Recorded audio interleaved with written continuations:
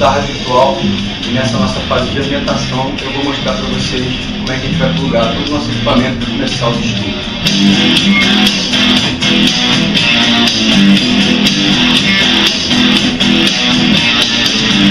Primeiro a gente vai precisar da guitarra,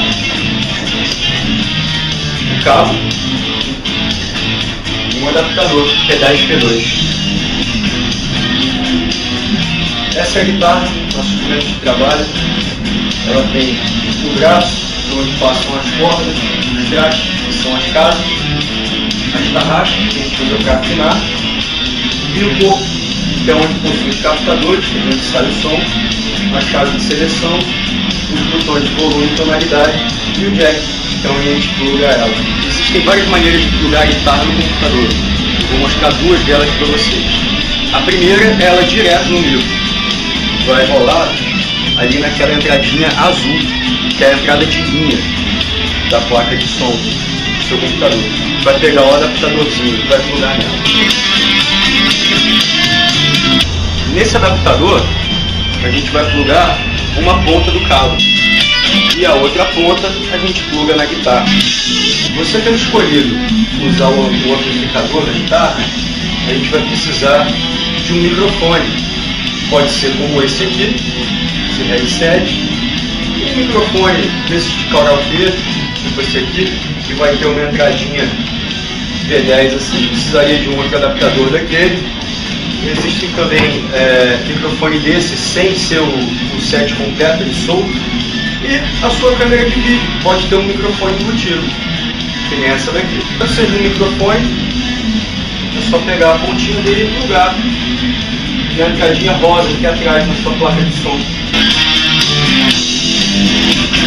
Galera, agora que a gente já viu como é que pluga a guitarra no PC, eu queria dar uma olhada com vocês aqui nos programas que a gente vai precisar usar. Agora que a gente já sabe plugar o nosso instrumento, vou mostrar para vocês aqui como configurar a área de trabalho para poder receber as lições.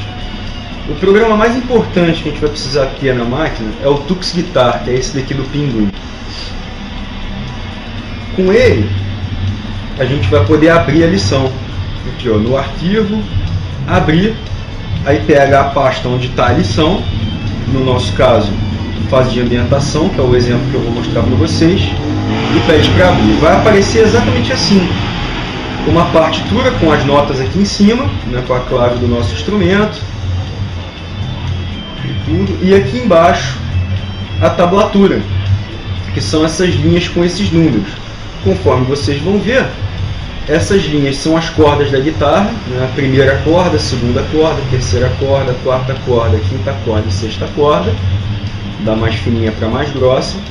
E os números são as casas, os trastes do instrumento. Então aqui é a casa 3, aqui é a casa 2, casa 1 e o 0, que é a corda solta.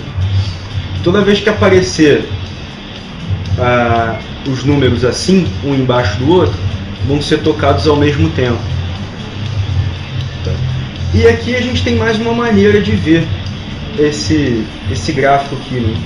que é com o braço da guitarra. Bem aqui, ó, exibir braço da guitarra, que a gente tem aqui a bolinha azul aqui, ó, que vai indicar exatamente a posição no braço aqui, ó, corda 1, né, que nem a gente viu, na casa 3, que nem está dizendo aqui em cima.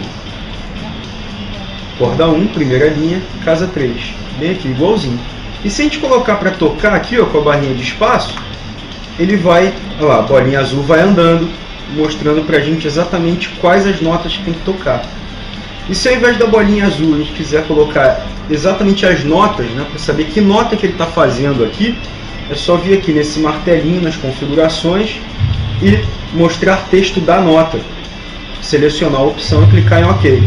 Olha lá, já virou o G que corresponde à nota Sol.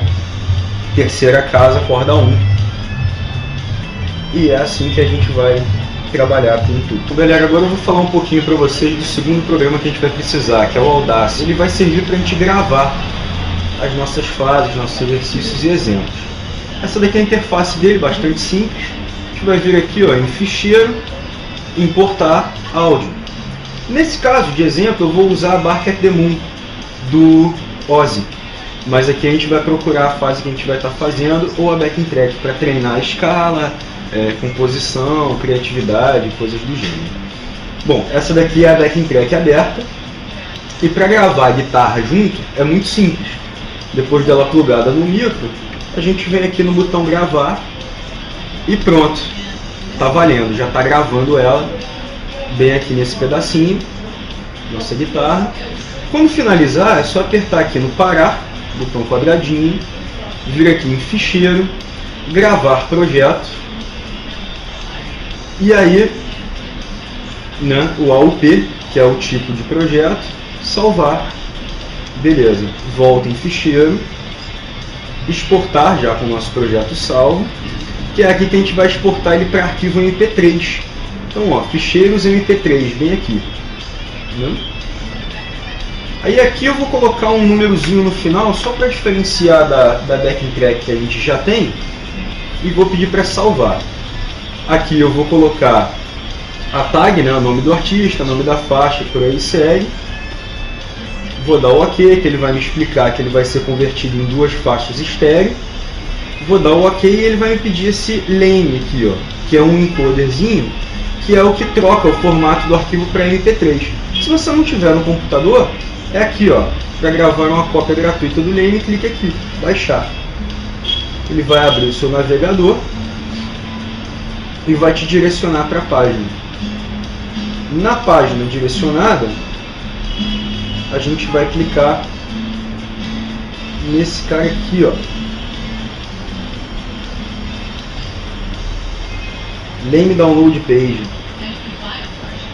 E na Lame Download Page, aqui ó, New Audacity Lame MP3 Tutorial.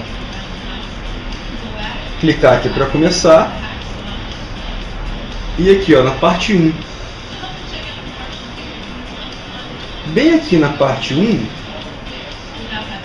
ele vai vir aqui, ó, aqui embaixo, ó, como fazer o download. Clique aqui nesse link e pronto, o leme está sendo baixado aqui para vocês.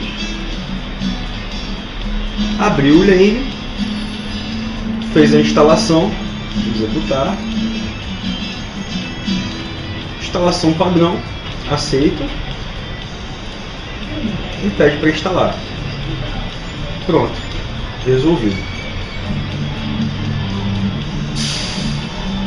Localizar o main encoder que vai estar onde gente salvou. Local C, arquivos de programas. Ah, lane, lane, lane, lane, lane. Lane for Audacity. Lane Int DLL. Abrir.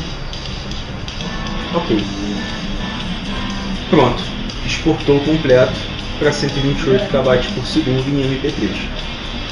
E é assim que a gente vai funcionar para poder entregar a faixa tanto para a gente aqui, né, para a gente poder avaliar todo o processo. E qualquer dúvida que você tenha, é só acionar o nosso suporte. Thank you.